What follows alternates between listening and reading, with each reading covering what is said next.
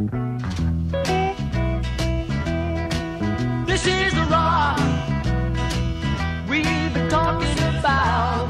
Hi guys, Wednesday 9th of September, just going on 10 o'clock in the evening on the east coast of Australia where I am. You can see the times here. This is a quick one, nothing to do with draining the swamp, but everything to do with corruption. You'll remember this story. Jim Stone, I brought this to your attention a couple of days ago.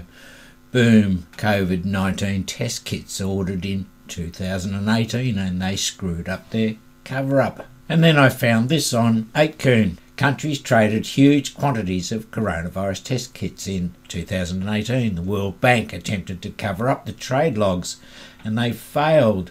Just found this and did a little digging myself. Trade logs from the World Bank indicate large quantities of test kits were already traded back in 2018.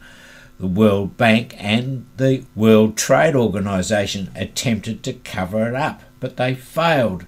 And then he gives us the links. So this was the page out of World Integrated Trade Solution talking about COVID 19 diagnostic test instruments and apparatus exports by country in 2018. And you can see that was basically archived September 6, 2020, 140 Eastern Time. And then this page where it's called Medical Diagnostic Test Instruments and Apparatus Exports by Country 2018.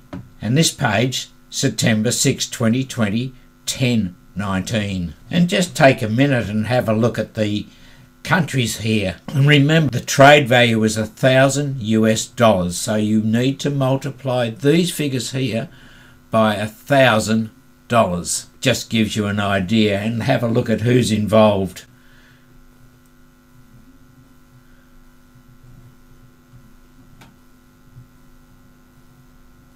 Australia, of course, $550 million. dollars. $550 million, and we're shut down here in Victoria for what?